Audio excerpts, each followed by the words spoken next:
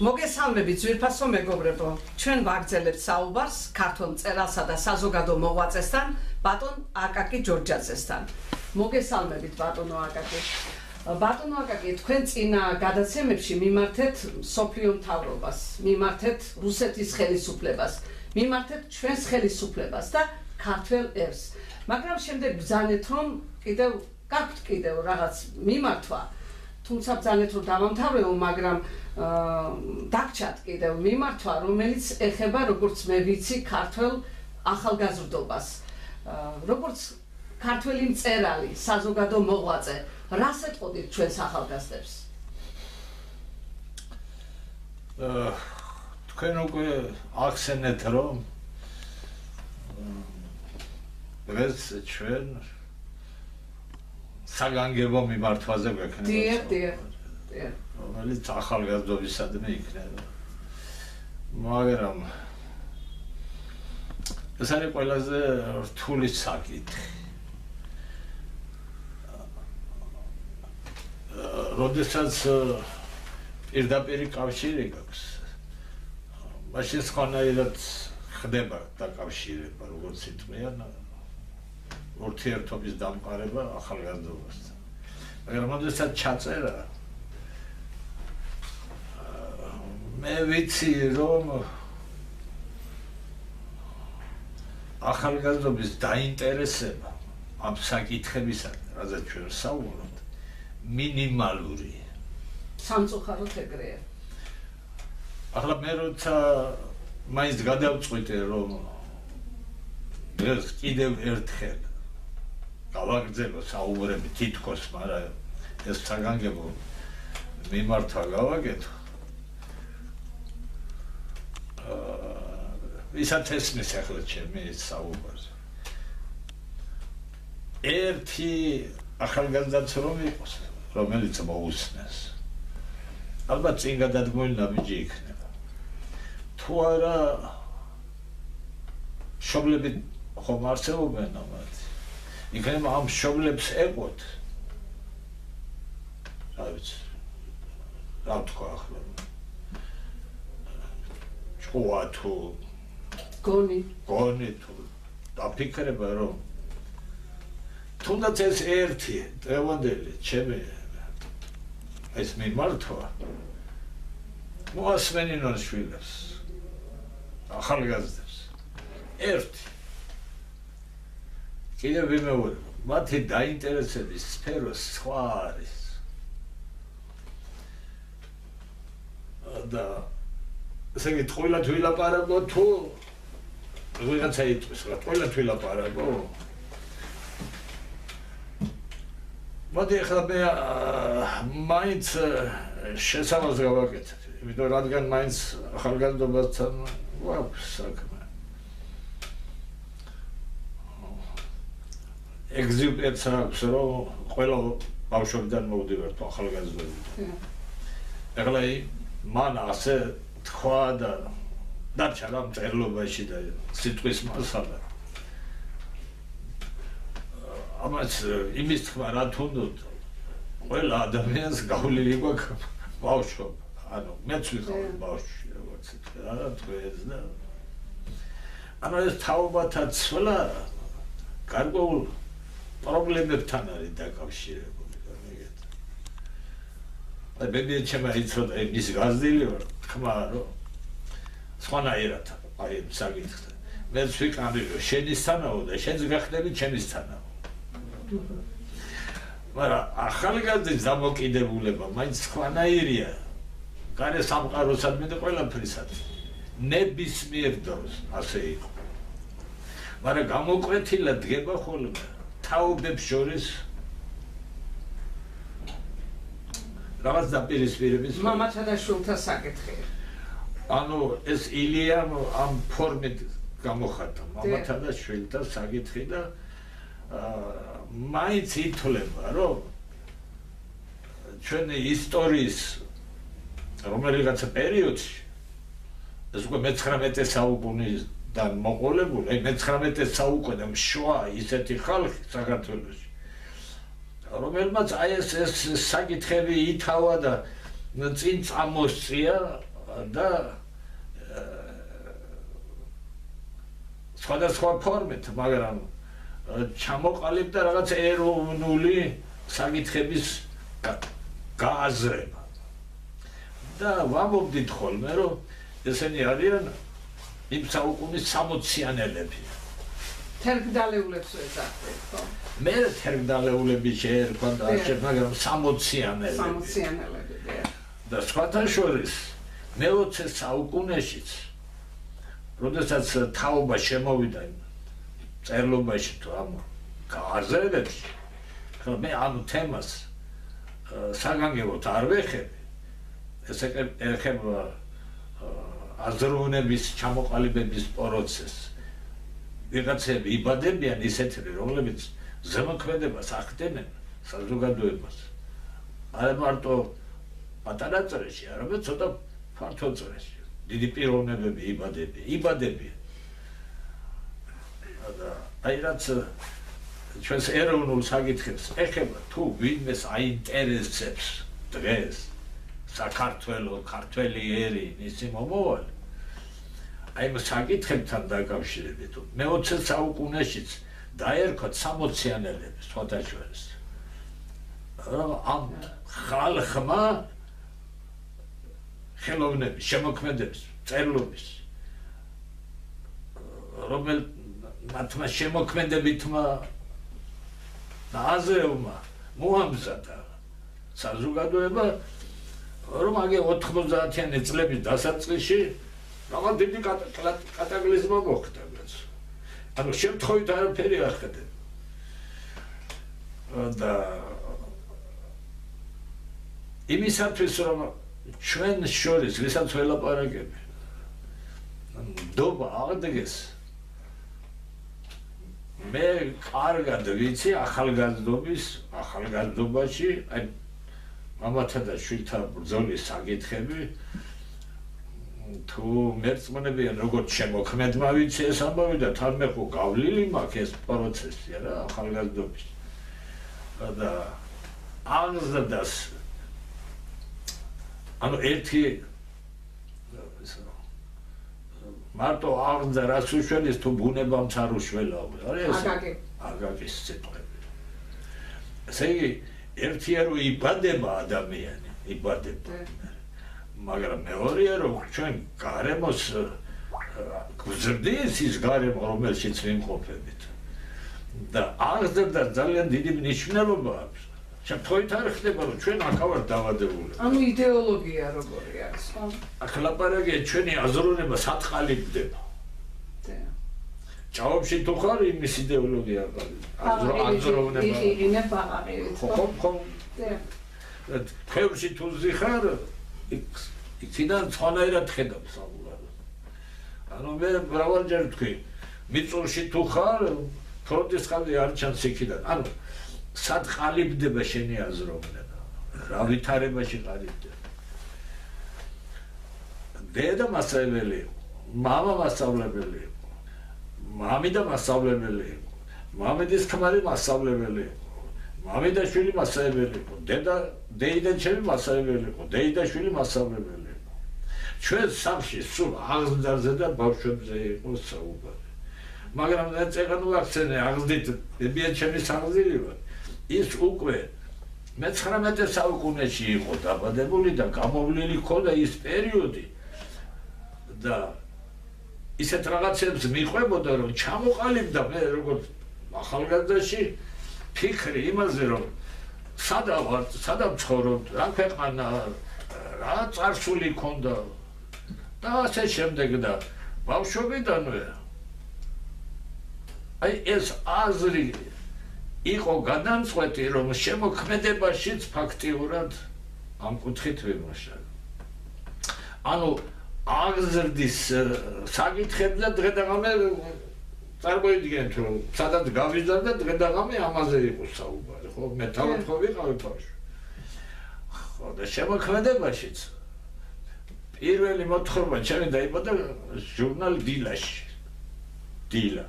ბავშვებისთვის რომ კი 1965 წელს. ახალგელმა თაობამ არ იცის ბატონო არ იცის და ამიტომ ველაპარაკე დილა იყო ჩვენი ჟურნალი. ჟურნალი იყო ბავშვები ბავშვებისათვის. და შემდგომ და შემდგომ. ესე იგი მე უფრო როგორც შემოქმედი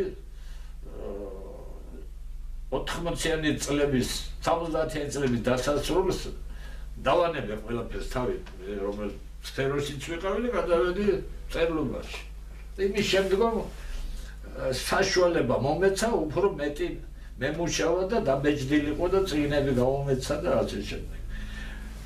პიესა მოზარდზე მაგდაწერილი რომელიც კონკურსებში გამარჯვებულია და მე ციტგმებოდა და ასე შემდეგ. რომანი მაქვს დაწერილი რომელიც საკავშირო და რესპუბლიკური პრემიები აქვს მიღებული და ასე შემდეგ. მოთხრობები ეხლა მე ჩემი ბიოგრაფიის მოყოლა არ მინდა მაგრამ წერილები ესები მე წერილები და ასე შემდეგ და აი მოზერზე მაგ დაწერილი რომანი რომელიც ათარგმნიცაა და ასე თქვა პრემიები დაკარგებული ბავშვების ხატია. აი ბავშვების ხატია ხა და აქ პიესა შესული და ასე თქვა კაგე პიესები და ისე აი აქ წერილების ციგნია. რომელიც 80 წლებში მაქვს. აგერ წერია აქ 78-დან 93 წლამდე რა წერილებსაც ბეჭდავდი. ახლა იმიტომ ელაპარაკები რომ ვიღაცას გონია რომ უცბად მოვევლინე ახლა ამ ქვეყანას ამ თემაზე ვსაუბრობ და წინა ცხოვრება არ ამქო. ნუ წერალი ბრძანდებოდით ბატონო აკაკი და დაწერილი გექნებოდა. შექმნილი მაქვს საბჭოთა პერიოდში ვერ წარმოიდგენენ დღეს, როცა არაფერი არ არსებობდა. დღეს რო ქვია არა სამთავრობო ორგანიზაცია.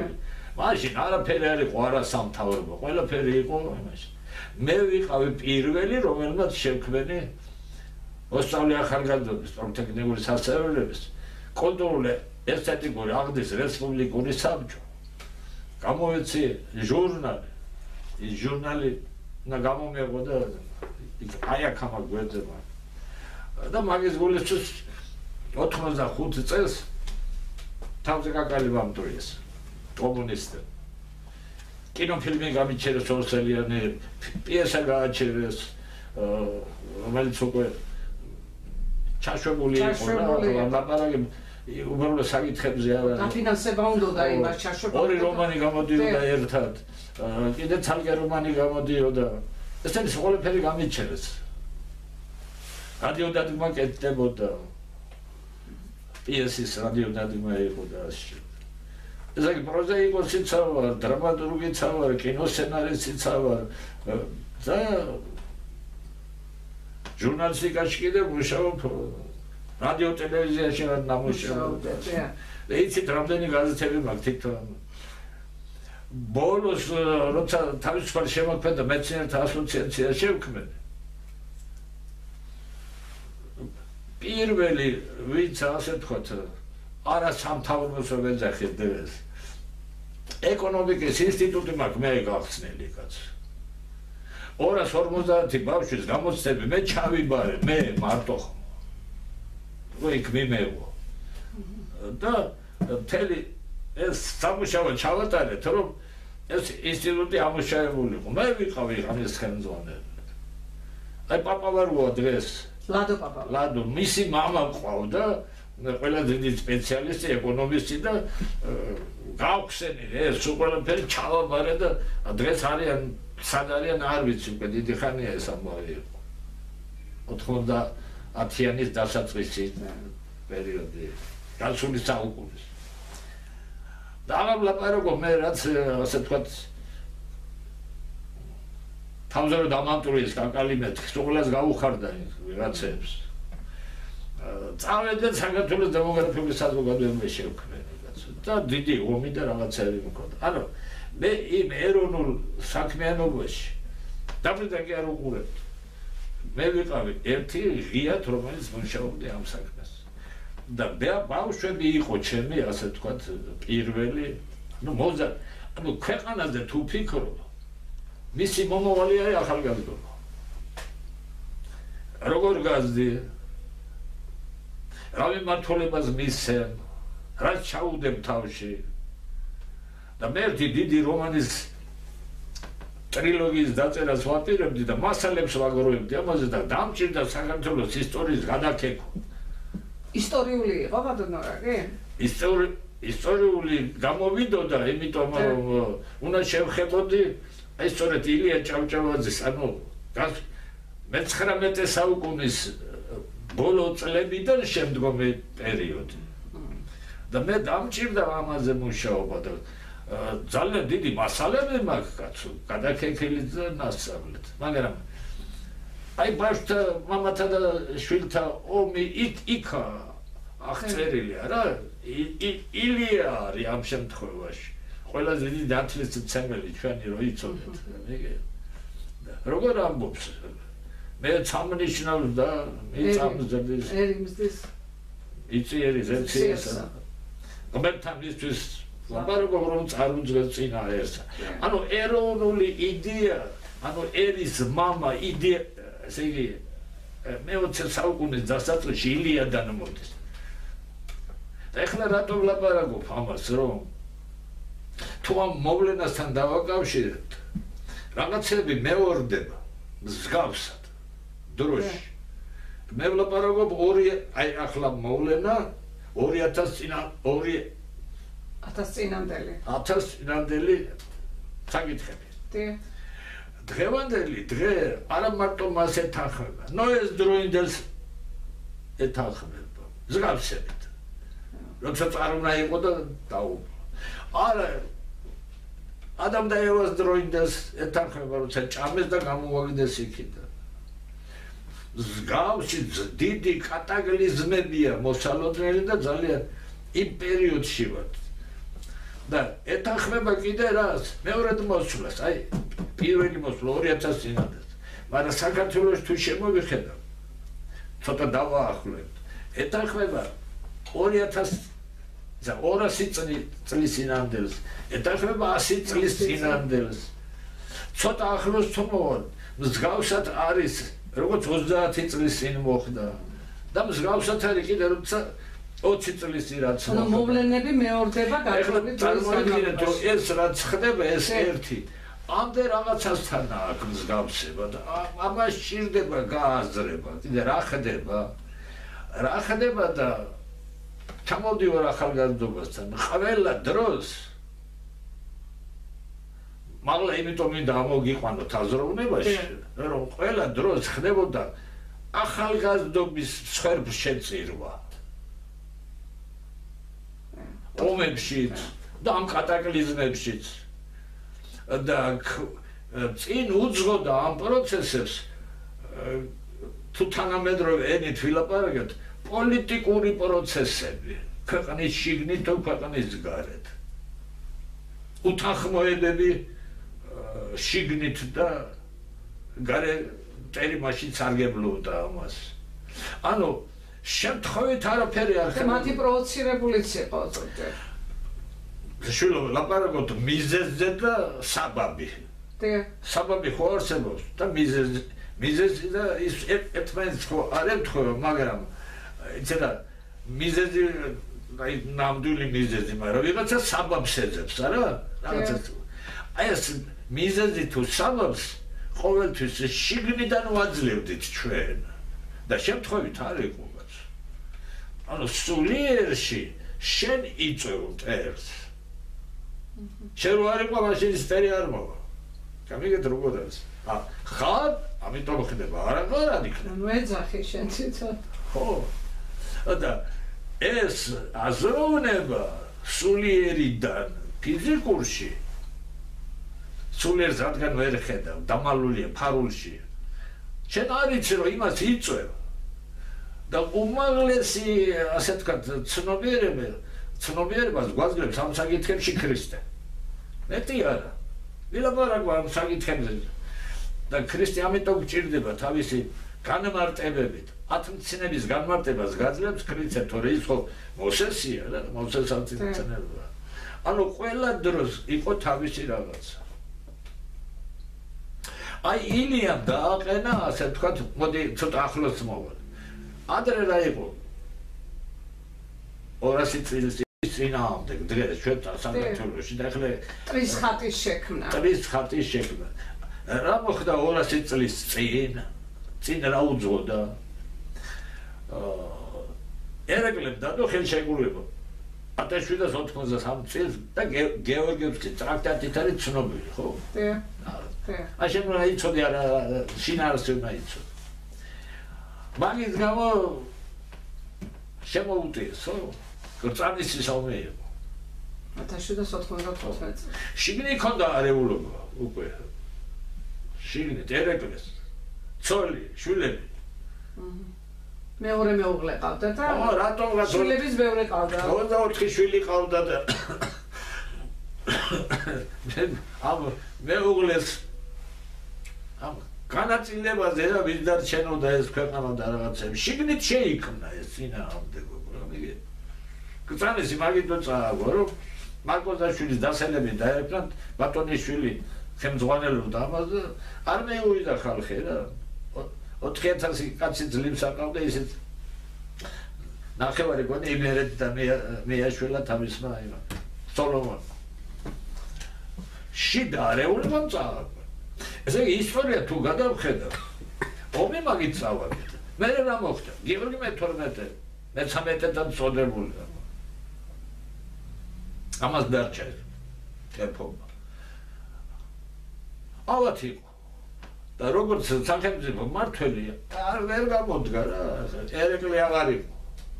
განეგეთ და ხოდა ავათ რა რა იყო თუ დღევანდელ დღეს ვამობთქონა სპილოს ავატყოფობა ქონდა გასცილდა გადით ორმით დაკავდა კაცი და მოწმუნე კაცი იყო და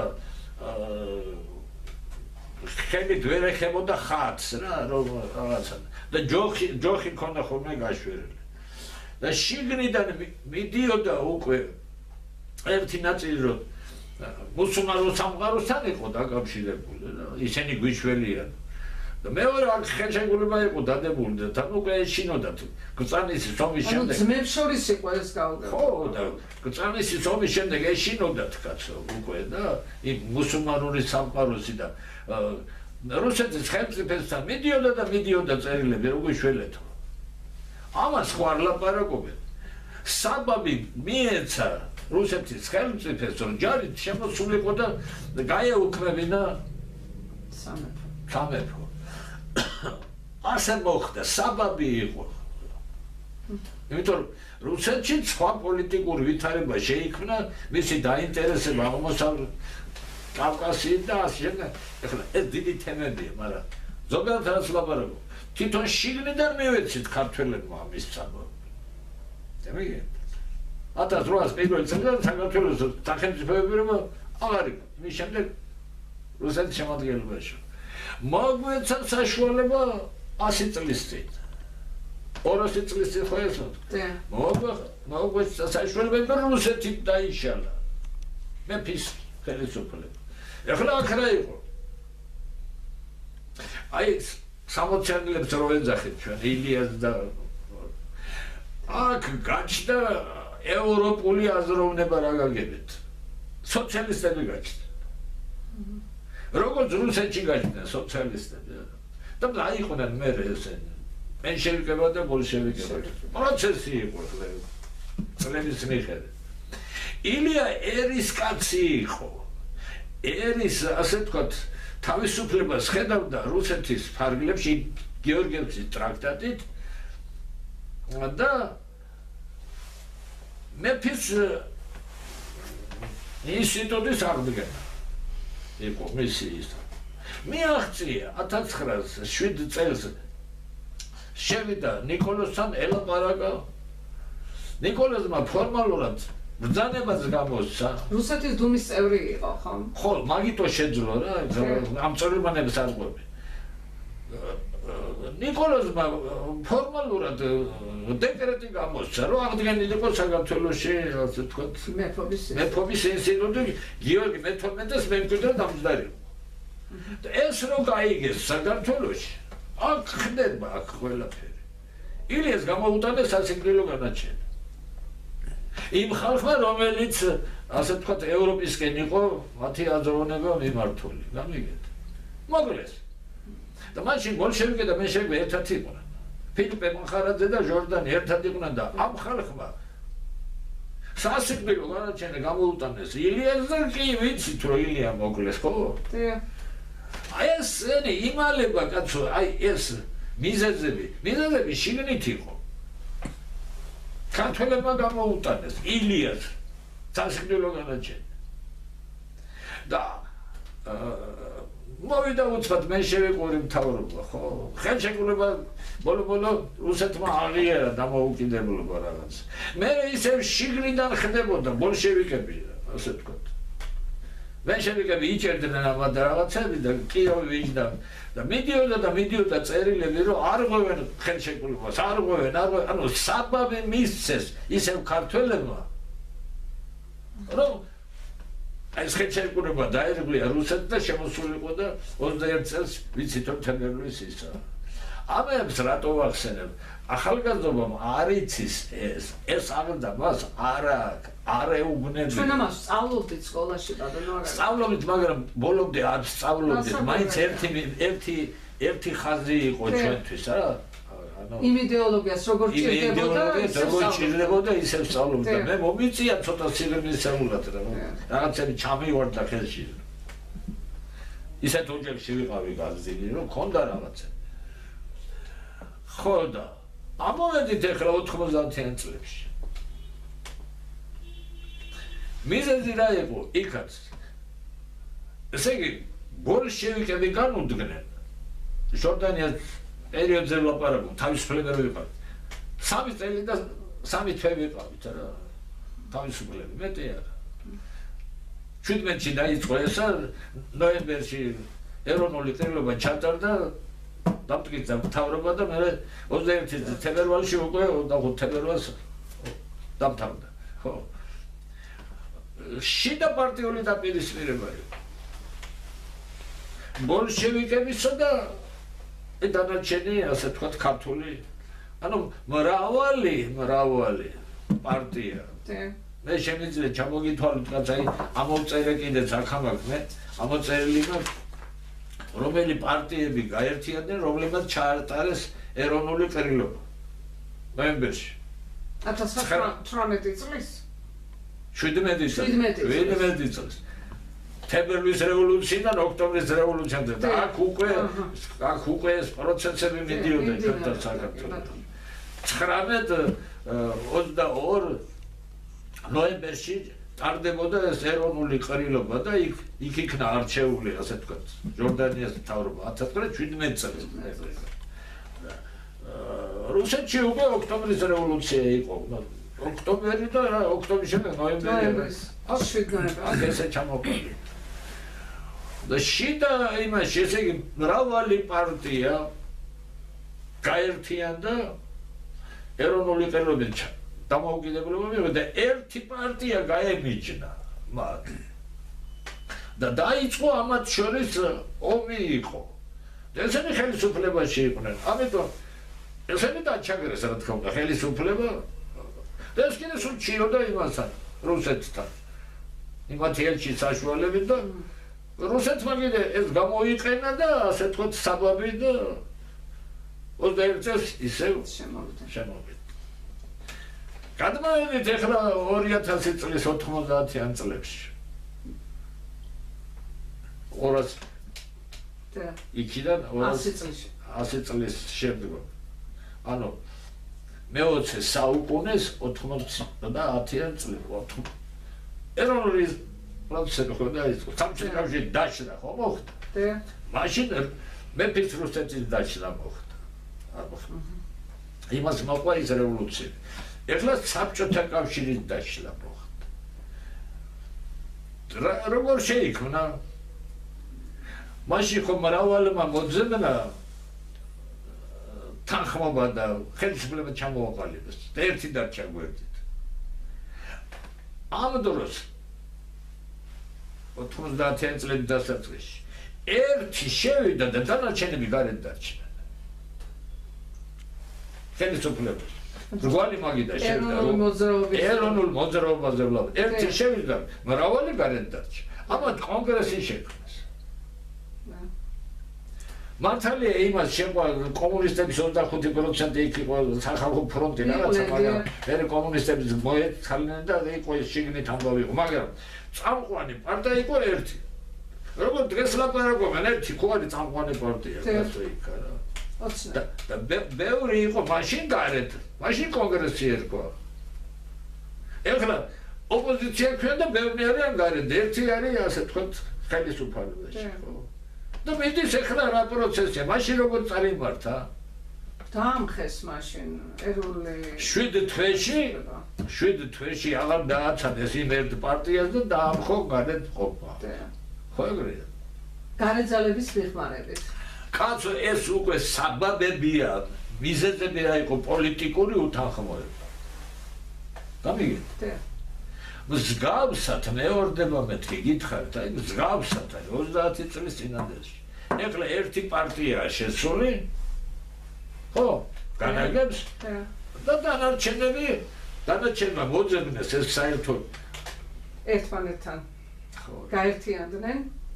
ზორწულები არიან თითო თითო პარტია მაგრამ ერთად არიან ბევრი ჩანან ხო ესია და მაშინ ზრავსად არის და მოვლენები ვითარდება მსგავსად ოღონდ ამ შემთხვევაში მაშინ თუ მარტო რუსეთი იყო ჩვენი ასე ვთქვათ გარდან ისე იყვნენ ჩარეულები რომ ეს არ ჩანდა. დამალული იყო საერთოდ და რუსეთი იმპერია და ახლა ისე რუსეთი იმპერია რაღაცა მაგრამ უკვე გარეძალები რო ჩართულები არიან ხედავენ ალბათ ხო? დღედაღამე იმაზე ლაბარაკი ევროპა გაერთიანება ნატო და იქიდან ბრიუსელი და ვაშინგტონი და ხალხი ჩამოდი და მის არის მისვლა მოსვლა მაშინაც იკაუცკი ჩამოიყვანა კაცო ევროპიდან ჯორდანიამ და ინგლისელები და გერმანელები და თელი ამბავი იყო მაშინ. ზგავსად არის ამიგე ხოდა რა არის მოსალოდნელი? თან კიდე ასე თქვათ ამ პროცესში ვარ ხო ახლა? მოვლენაზე ვლაპარაკობ. ეს გზა დაუბისა მოვლენა ნო ეს დროს უკავშირდება დედამიწაში დაუბის საკითხია. და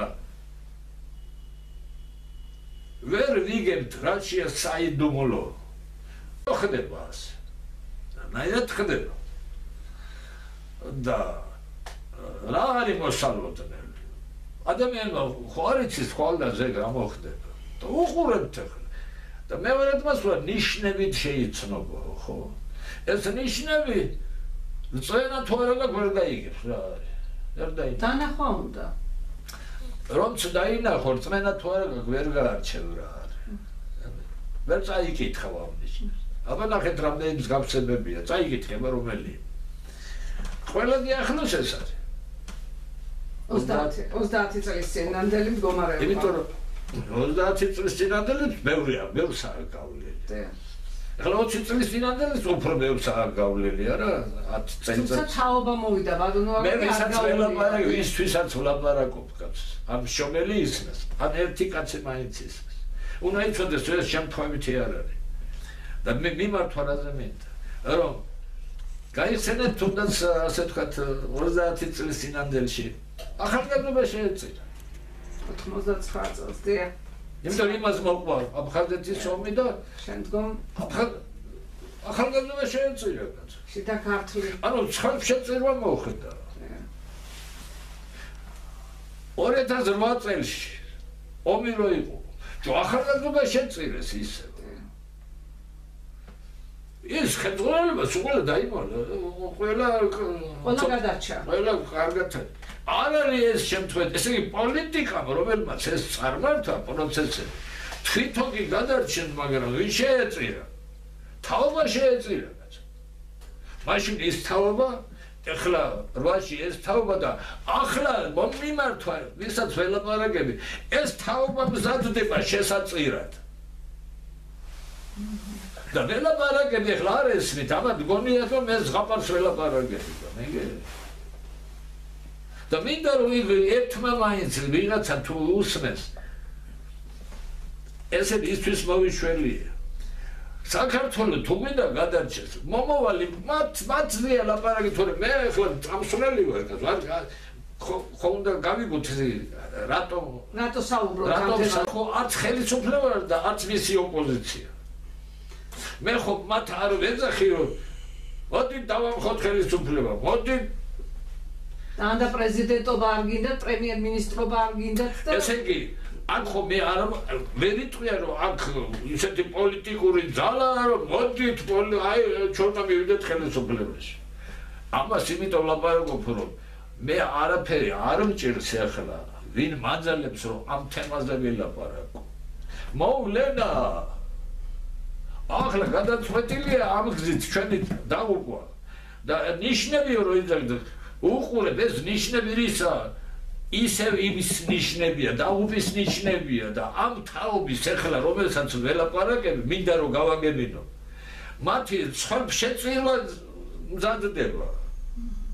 და ეს საგანგებოდ ახლა ველაპარაკები ამას ვეღარ გადაიტანს ქართველიერი ბატონო. კაცო ეხლა რა ხდება? რატო მოხდა მაშინ ცხელ შეწირვა ეროვნული თუ ვინმე ვიყავით ეროვნულად მაშინ ეროვნული მოძრაობა ერქვა ახლა ხო აღარ ეროვნული მოძრაობა. ესე იგი ის ნაწილი მოისპო ვინც ეროვნულობაზე ლაპარაკობდა და მე ამოიღეს ეს ეროვნება მოწმობებიდან მომეცახე პირადობიდან პასპორტიდან და გაქრა ეს იურიდიულ ტერმინოლოგიაში ერი. ეხლა პირზე აგერიეთ მაგრამ ეს რომ გაქრა იმას არავინ არ ახსენებს რომ რატომ რატომ გამოხდა ეგ რაღაცა ეხლა უკვე უცხო სიტყვების ორიენტელია ხო ნაციონალები, რა არის ნაციონალები? იგივე ეს ნიშნავს. აი, ნიშნავს, რატო არის საქართველოსი ეს წამოწეული? რა იქნა ეროვნული ნაცია ხო ეროვნული? თვითონ ერს აღარ ახსენებენ. ქართველი ხალხი იძახიან. კაცო, მე ახლა ვლაპარაკობ ნიშნებზე. ნიშნებია ეს, გამიგეთ? მართალია დიდი შეიძლება არ აქვს ნიშნულობა ვიღაცისთვის, მაგრამ ქვია ლეიბორისტები, რატო ქვია ლეიბორისტები? შრომის პარტიას რატო შრომის პარტია თავიცნობს ვინმე და რატო იცნობს ლეიბორისტებო და ნიშნებია, რომ აქ მიმდინარეობს არა ქართული ინტერესი, არამედ ევროპული ინტერესი, რა? ამ შემთხვევაში. ამ შემთხვევაში ნიშნების თვალსაზრისით ვლაპარაკობ. რეალურად ჩვენ რო გვინდა იქით შეცვლა. აზროვნება გვაქვს მეთქი გასაცოლებელი. ჩვენ ხო არის ხალხია აი როგორ არ არის კაც ამას სხვანაირად პოლიტიკურად მეხუთე კოლონას ეძახია. საზღვარგარეთის ხალხია ესე რომელიც ეძახიან იქით უნდა წავიდეთ. და სად არის ეროვნული მაშინ ყალბია ქართული ოცნება რომ დაირქვეს. ებაზე დავწერილი მაგაც ერთხელ ხო არა რა? ყალბია ქართული ოცნება რა არის ქართული ოცნება? და რომარეობა არ არის ქართული ოცნება. დავსვი მაშინ კითხო და ახლაც რა არის ქართული ოცნება? ქართული ოცნება ხო პროგრამაში უნდა იკითხებოდეს. ნუ წაიგითხეთ პროგრამაში ეს ქართული ოცნება. ან რაც ხდება ეს არის ქართული ოცნება? ქართული ოცნება შეიძლება ქართული მიწები იყიდება და ქართული ოცნების ფორმულა ილია ჭავჭავაძემ ჩამოაყალიბა ეროვნული იდეოლოგიის мама იმიტომ დაერქვა მას კაც мама იყო ერის мама ერის мама мама ჩვენი თავი ჩვენადვე გვეყუდნოდეს ოცნება მე ახლა თუ მომაყოლებ დროს ადა გვაქვს მაგისი კაცო რომ ამ თემაზე ვილაპარაკო. მას შემდეგ რაც უკვე დავით აღმაშენების და თამარის პერიოდი გავიდა, ჩვენ სულ ვიყავით ვიღაცის ქვეშ და მოგონება გადაგვიარეს, არა ლაშას აცდა მაგრამ რუსუდან რუსუდანი მეფობის შემდგომ. და ოცნება იყო რომ როგორღაც გავთავისუფლებული ვიყავით ამისგან. მაგის გამო იყო რომ რუსეთთან დადო ხელშეკრულება ასე არჩია ერეკლემ. ერეკლემ რომ ერთ მოწმუნე ქვეყანა მაინც დაგვიცავსო და იყოს სწორი. ხო რატომ იყო და იმასაც გეტყვით. ხო. და ეხლა ამათ რომ დაირქვეს ქართული ოცნება, ეს არის ოცნება, ქართული. რო ეთქვა თუ რომ ახლა მოდაში ბერას ოცნება უნდა დავიჯერებდი და უშუალოდ ან ბიზნეს ოცნება ხდებია რატო ვამობ ამ სიტყვებს? დღეს ხო ესა თემებია ეს თემა წამოწერული ან სალომეს ოცნება ამასთან დავიჯერებდით მაგრამ ქართული ოცნება რაც ქართული ოცნება როდის იყო ის რაც ახლა ხდება? გამიგე ეს იყო მოსატყუებელი ლოზუნგი ხალხისთვის. რომ აი ქართული ოცნება? საკენკი და ადამიანი არ ფიქრობს ამ თემაზე და ეს რჩება თვითო თავში რჩება მის გამოსათაყვანებლად მის სასაკლაოზე წასაყვანად. მოყვება ქართული საქმე უნდა გავაკეთოთ. ახლა როგორ არის? ერთი პარტია ოპოზიცია თუ პოზიცია? მარტო იმას ლაპარაკობს. ხალხმა ჩვენ მოგვცა ხმა. აი ერის ინტერესებიდან გამომდინარე ვაყენებთ ამ საკითხებს თორე. ჩვენ კი არა კაცო. ჩვენ ამ ერის გულისთვის ყველაფერს გავაკეთებ. ჯერთი ერი რო წავშალეთ თქვენ არ იყავით კაცო ეს პოლიტიკოსებმა არ წაშალეს აბადამ თანხმდა შეიტანა ეს პარლამენტში შეიტანა საკითხი. აბა გონიათ რომ ასეთ მე რომ ლაპარაკობ სამუთემია. მაშინ ოცნების წევრი იყო ყობა დავითაშვილი. ის უკაცრავად ნაციონალების ნაციონალების წევრი. არ მინდა ეხლა ეს დაწურლებით მიმყვე ამ საკითხებს გან თვითფაულს ვიცრო მოხარჯოს. ამნეზია ჭერს ხალხს. აქ ლაპარაკია შემთხვევით ხო არ ხდება არაფერი, არა? არ არის ქართული ოცნება კაც და ეხლა ხდებია აი რა დაგალაპარაკები ამ ახალგაზრდებს ეს მიეთ ჩემი რომ ქართული ოცნება არ არის ქართული ოცნება ეს არის მოსათხოვებლად სიტყვა ლეზონგი როგორც ჟვანია მე ესაც მოსათხოვებელია ქართული გვარები აქვს აღებული სომხებს კაცო ზანაზან ანტონიანა და ზურაბ ჟვანია სიტყვები არ განსხვავდება ერთმანეთისაგან. გენეტიკურად წარმოშობით არის ზანაზან ანტონია. მე რა ხდება ზურაბ ჟვანია. გენეტიკა რისთვის არის? და საქართველოს წარმომადგენელი. ჯურავ ხნა ახლა კაცო, დედამისი არის ქართველი. დედამისი არის ქართველი. ალასანია, მაგრამ საქართველოს დედა. მაგრამ თვითონ სააგენტო მამამისი აგერ ვალეოგურ ვალეონოგიური ინსტიტუტი ერქვა თუ სალატყოფო ერქვა იმის დირექტორი იყო ახლა არ ვიცი ნიკოლოს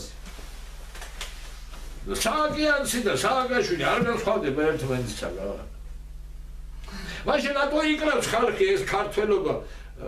თავს. ვერ ვიგებთ რომ რაღაცა სხვა ინტერესებია. ვერ ვიგებთ. ქართლობას ველაპარაკები კაცო გარეთ დროშებს რო დააფრიალებენ და იმათ კიდე თავიანთ გეგმებში უწერიათ. ვერ გაიგეს ამ რიყვებმა ჩვენ დროშებს დააფრიალებენო და უწერიათ რა უწერიათ გოებს უნდა ამოგუჯეთ გული და მოგლეთ საუკეთესო ქრისტიანი. აი ამ გოების სისხლისო ამებსო შესაძირავი მოაქვსო ჩემს ღმერთთანო. და მათი ღმერთი? მათი ღმერთი არის ერთი ხევი ლუციფერი უფრო მაღალი და მეორე არის სატანა. სატანას და ლუციფერს სისხლი უნდა. იმიტომ რომ კალატოზე იყო გაჩ 33 ხარისხის ალბერტ პაიქს პირდაპირ გამარტება ჩვენი ღმერთი არის ლუციფერიო და ქრისტეს ხსენება ეჯავრებათ სატანისტებს. ანუ ეს ჩვენ ევროკავშირში შევიდეთ თუ არა? ეს კი არ წდება ახლა. სხვა რამე წდება, სხვა რამე, იმაზე ველაპარაკებით მე. სატანა მონა თავი შეწიროს ჩვენი თავი, თავის ღმერთს. ეს არის ქრისტესა და ანტიქრისტეს ბრძოლის ველიან საქართველო. აქ მიმდინარეობს ეს ამბავი. აქ არის ჩაგეტილი ქრისტეს სიტყვა, რომელიც მოვიდა. აქ, აქ არის ქართველებისგან არის ჩაგეტილი. და წაიყვანა იმ ხალხმა რომელმაც იცის რომ ეს პროცესია წაიყვანა ერი ახალგაზრდობა ამ სხვა შეწირის გზით მე ხო ამ თემაზე ესე არადროს არ მელაპარაკია კაცო მესამე პერიოდის არ თავად არ დამთავრებულა და მეოთხე ეტაპზე ვართ ახლა. აი მესამე მეოთხე ეტაპის გარდამავალი პერიოდია. ახლა მზადდება მსხვერპლ შეწირვის საკითხი. და გეყოფათ ხალხნო. მოსულია ქრისტეს სიტყვა გადასარჩენად. და ყველაფერი თან მზად არის. რომ უმთხოვნეულოდ უსისხლოდ გადავიდეთ ჩვენ ერთი მდგომარეობიდან მეორეს.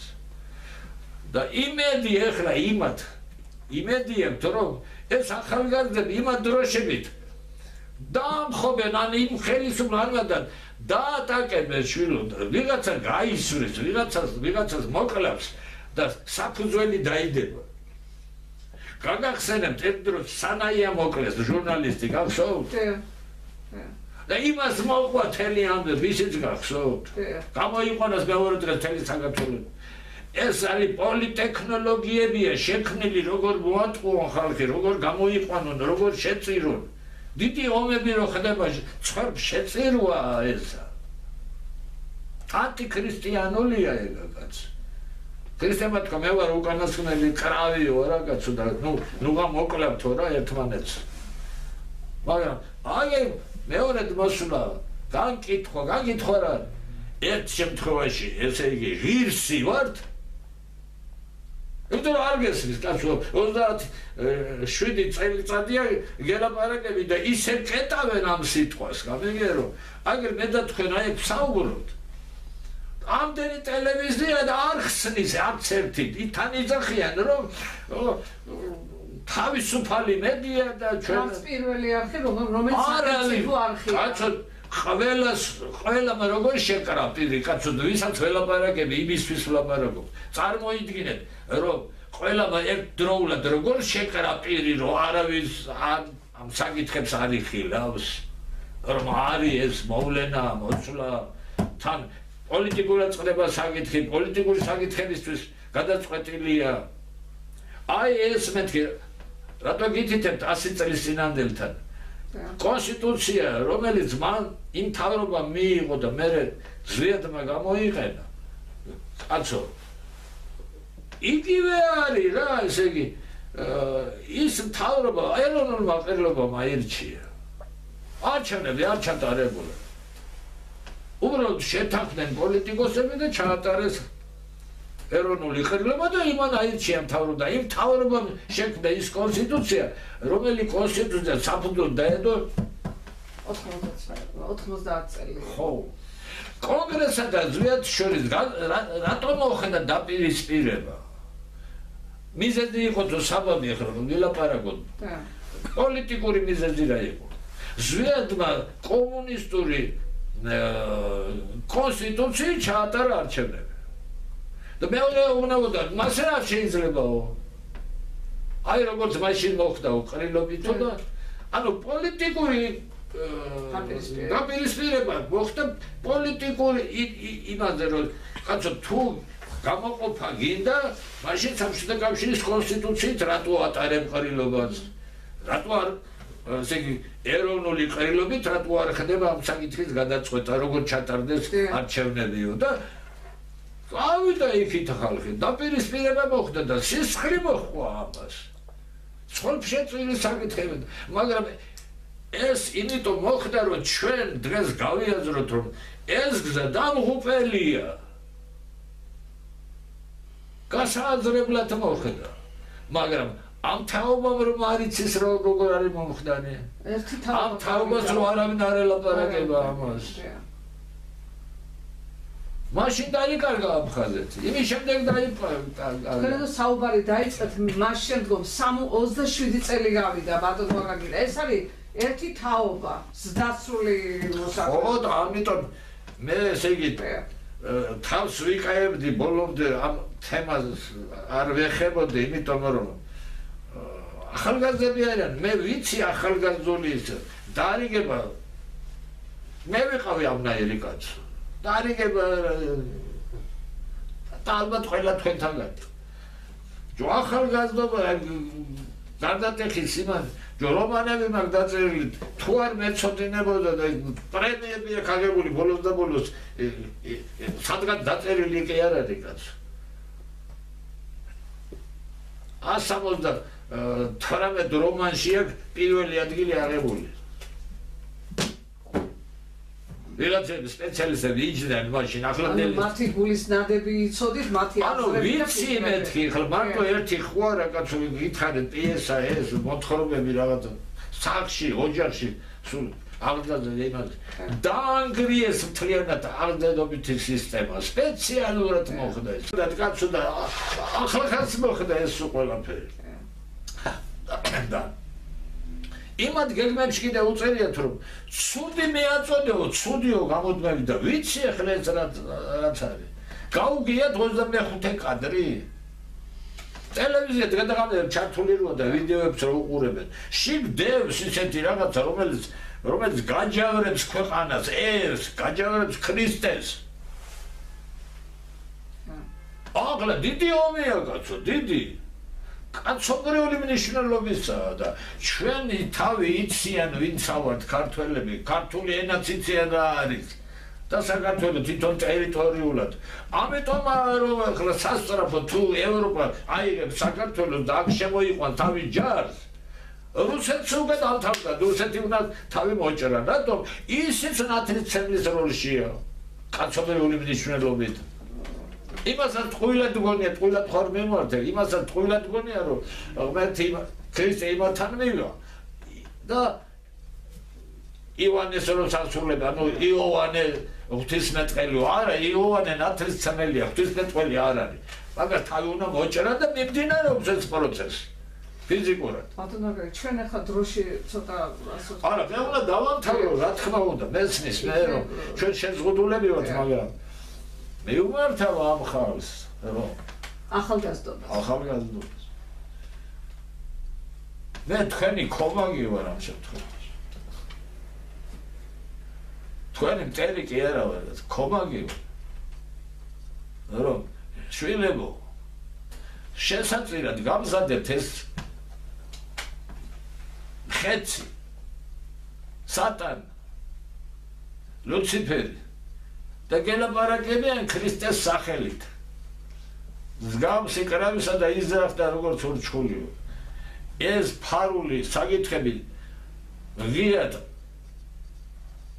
მე ამომაქვს, ამომქონდა და ამომაქვს გელაპარაკები და დაკეტილია ეს ინფორმაცია. დანარჩენებს ასე ვუყნები.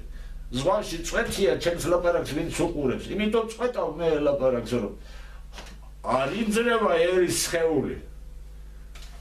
ან გაიძრება რომ საშველად გადაიდგას ნაბიჯი? ან აი ეს ნიშნები თიკითხებაო აი თითქოს ევროპელები ჩამოვიდნენ შესაძლებლად და შემთხვევით არ არის რომ ვერ იგდებიან ჯერ. ესე იგი შანსი არსებობს რომ ეს მორიგება აქ მოხდეს აქ თვითონ შიგნით როგორც ასე წლის წინ ქართველები მორიგდნენ მაშინ უცხოელები არ იყვნენ მორიგებაზე ოდ ყველა მოვრიგდეთ ყველა. და მაშინ სისხლი აღარ დაიღურება გამიგეთ გადაჩენის გზას არის ყველაფერი აქ არის მზად არის არ დაიღურება მაშინ სისხლი არა და გამზადებენ ამისთვის და იმა დროშებს მოაფრიალებთ თუ გადარჩენა გინდათ ამ თქვენი თავის ამ ქვეყნის რის გამოც ფაქტიურად თქვენ დედაღამე გარეთ ახართ გამოსულ დროშებს აფრიალებთ მაგაცაც აქ მოდით შვილო რომ გასწავლოთ რა გაკეთდეს როსის ხლი არ დაიყვანოს და თან ქვეყანაც ხო და იმიტომ ველაპარაკები რომ მე ვიცი რომ იმათ არ აინტერესებს ეს თემები არ უყურებენ ვიდეოს და ერთი მაინც თუ თავის თანატოლებს გადასცეს ეს ჩემი ერთი მომართვა რომ ამას მაინც მოусმინეთ თქვენ. გადაეცეთ ერთმანეთს თორემ შობლებს ვეუბნები, ვისაც ცოტა რაღაცა წვინი გაით. ზადდება თქვენი შვილების სხვებ შეწირვა, ვიდრე დედამიწა დაიღუპებოდეს მანამდე მისასვლელად. კიდევ ზადდება და იქნება ავაცილოთ. მე ვიცი რომ სულიერად ეს შესაძლებელია. და დღეს ასე ვთქვათ, რომ ვლაპარაკობ, სწორედაც სულიერად ესა. როდის გავა ეგეც არ ვიცი და როდის ვინ გაიზრდა ეგეც არ ვიცი, მაგრამ ეს ყველაფერი ნიშნებია ღირსივად გადარჩენის თუ არა ვარ ღირსი. გავიგებ თუ არ გავიგებ, თუ არ გავიგებ, მაშინ გაწირულები ვარ და ეგა.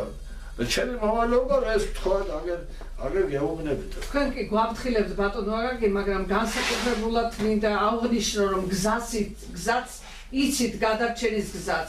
ხოლო იმას კი არ ამბობთ რომ ცუდი სიტუაციაა და ცუდად არის საქმე. აგერ გითხარით, შვილო, აგერ გითხარით. შევარდნაძის დროინდელი პოლიტიკოსები?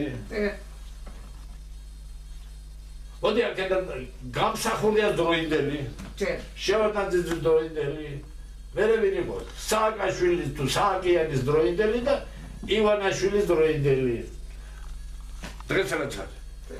აი 4 ოღონდ რაღაცის დათმობა მოუნდა 4-ად განაწილდება ხელისუფლება რაზეც მიდის ახლა ლაპარაკი და დროებითი კოალიციური მთავრობა თუ ეს შეუძლებელია დღეს. და დაშლები არის გადანაწილი გადმონაწილებულები მაშინ არსებობს მეორე.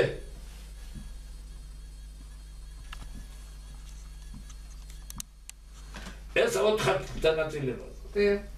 ხუთები თქვენ მე ხუთები თავად რა ოთხად ეს აი ჯვარზე ეს არის. თორე სამათ ეს არის? ეს 90-იანის ეს არის ასოცი. ეს იგი ხელისუფლება დრევანდელი დრევანდელი მისი ოპოზიცია. და ერი. ეს ჩვენია. ოპოზიციის და ხელისუფლების გარეთ ვინც არის დარჩენილი. აი ამ ბრძოლის გარეთ ვინც რჩება. დაწყებული აი ამ იმაში ვინც და იმ ოთხეულში ვინც იყო. ვინც იყო და გარეთაა დარჩენილი. მას შეუძლია შეუძლია მოვიდეს და აქ აქ გაერთიანდეს ჩვენთან. და ეროვნულებს ეძახიან ეროვნულებს. თუ არა ოპოზიცია და ხელისუფლება. აი ეს ყველა ხალხი არის აქ ჩვენს მაგიდასთან დასასმელი და ჩვენ აგვაქვს 2 მილიონ 907000 ამომრჩევლის მიერ ხელმოწერილის შედეგად ყრილობა ჩატარებული ლეგიტიმური დადგენილება ხალხის სახელით მე მაქვს უფლება და ახალ სისტემაზე უნდა გადავიდეთ და ის კიდე მარტო მე ვიცი მსოფლიოში. პრობლემა. აღლა გეკითხებით რა არა წობთ. ეს ნიშნავს კოალიციურ მთავრობის შექმნას. ეს ნიშნავს პოლიტპატიმრების გამოშვებას. ეს ნიშნავს ახალი საარჩევნო კანონს. თოთელი მას. ეს ნიშნავს ახალ ასე ვთქვათ არჩევნებს ეს ნიშნავს რომ ჩვენი თავი ჩვენებო გვეკუთვნოდეს ერის გადარჩენას. ერის გადარჩენას. მომავალს. კიდე უამრავ რაღაცას ნიშნავს კაცო ნულოვან ვარიანტზე ვილაპარაკებ ახლა საუბარი ქონდათ მაგაზე კი არ ვიგონებ ეს დღევანდელი მიმდინარე პროცესების შედეგი კი არა რასაც ვლაპარაკობ. ამას ვლაპარაკობ უკვე 27 წელიწადია ა 20 წელიწადი პოლიტიკურ საკითხებზე. ახალი ხო არა? ადრე წინააღმდეგი იყო ყველა და რაღაცა მოამზადა რომ დღეს თვითონ ლაპარაკობენ ამ მოთხოვნებით მარტო ეხლა მიმართულება უნდა შეიცვალოს. ევროპა არამეთქი კაცო გეუბნებით, ევ დამთავრდა ევ პლუს ეხლა ვე ამის უარყოფაზე კი არა ალაბარა. ვენახი. ვენახი. ო და ეს ვენახი აქა ხალხა. არ გავაკეთე, მაშინ მო ვენახის პატრონი მე ვენახე დაგხოცად და ვენახს სხვას გადასცემს. ანუ მოხდება დიდი კატასტროფა. ჩვენ აი ძალიან მოკლედ ეს ძალიან ძალიან მოკლედ ისაუბრეთ, მაგრამ ძალიან გასაგებია განსაკუთრებით ჩვენი ახალგაზრდობის არაფერს არის თხოვენ, რომელიც გათვალისწინებული არ არის ახალი სისტემის დასაწყებად. ნულოვანი ვარიანტი. ნულოვანი ვარიანტი. ნულოვანი ვარიანტი. ამას ნიშნავს. მომავალი ახალგაზრდებისა და ისინი უნდა გადაჭრილონ. მომავლისთვის რო თქვენ ჩაიბაროთ შილოფერე ეს ქვეყანა. სწავლებად შეიცვლება. ყველაფერი შეიცვლება კაცო. ჰესები და რაღაცები გააყი კანონებზე არ არის გელაპარაკებად ვიც მიიღო ეს კანონები. ისევ ის ხალხია დღეს ოპოზიციაში და პოზიციაში. ეს ეს დამანგრეველი კანონები მიიღო. ჩვენი არ არის. სატანისა ეს ჩვენი მოსპობისა. რამდენად აღიქცნათ კაცო, რომელი სიტყვებით ვილაპარაკო. თუ არა ლუციფერი დოლარიან ამდენჯერ დაგანახო. დოლარიანზე ნახეთ 1 დოლარიანზე არის ნიშანი დევს იმ ლუციფერის. რის გამოც რასაც გაძლევენ თქვენი? კოკაკოლით და ნარკოტიკებით რო გამარაგებენ მადლობა ბატონო აკაკი დღევანდელი დღისათვის თქვენ საკმაოდ კონკრეტულად ისაუბრეთ საკმაოდ გასაგებად აი საგანგებოდ მეუბანთ ახლა მე ახალგაზრდებს მათზე ისინი ამყარებენ თავიანთი მიზნების შესრულებას და რეალურად საქართველოს მომავალი მათ ხელშია. ხო და თუ იმ დროშების წარებას თავზაანებენ და მოვლენ რომ საქართველოს გადავარჩინოთ რეალურად, მათივე ქვეყანა თუნდაც არ ვიცი კაცო, ამ შობლებს თუნდაც. აქ რა მიწერია, რატო გადმოვიტანე? აქ მიწერია თავის დროზე. მე წერლობას და შემოქმედებით ნაწილს შეუტია აქ ამაკ მე. რომ არ თქვან ცემა მართებს გამძელისაო იმიტომ რომ დამნაშავე ის კი არა რაგაცო გამძელია დამნაშავე ხო და არ დამიწია დღეს ახალგაზრდებზე ლაპარაკი ეს წერილი ცაკაა შესული არა მარტო ხო და შობლებსაც რეუნები აბა რა ვიცი შობლები კიდე უბრალოდ თაობა. თუ დაიჯერებთ ხსნა და გადარჩენე გზა არსებობს მზად არის ყველაფერი და ვართ ჩვენ კრიტიკულ მომენტში. ყოფნა არ ყოფნა ყოფნა არ ყოფნეს. ევროპა კი არ უნდა შეგვარიგოს პოზიცია ოპოზიცია თორემაც არამედ ჩვენ თვითონ უნდა აი ადგილზე გადავწყვეტოთ ეს ხალხმა უნდა მოსთხოვოს იმას კაცო რომ ინფორმაციული წყარო გაიხსნას და დავждეთ ერთად და გადავწყვეტოთ ჩვენი ქვეყნის მომავალი კეთილი იმეც ვიტოვებთ ბატონო აკაკი. ძალიან დიდი მადლობა თქვენ დღევანდელი დღისათვის ჩვენს მაყურებლებსა და მსმენელებს დიდ მადლობას მოვახსენებთ. დავითვალისწინებთ ალბათ ბატონი აკაკის საუბარს და ამ ეტაპზე მე ვამთავრებ უკვე და დანარჩენი კიდე გვიჩვენებს საერთო საკითხი. დღეს ყოველ შემთხვევაში ვამთავრებთ თქვენთან საუბარს ბატონო აკაკი, ჩვენთან სტუმრად იყო მწერალი და საზოგადო მოღვაწე ბატონი აკაკი ჯორჯაძე. კარგად ძანდებოდეთ მეგობრებო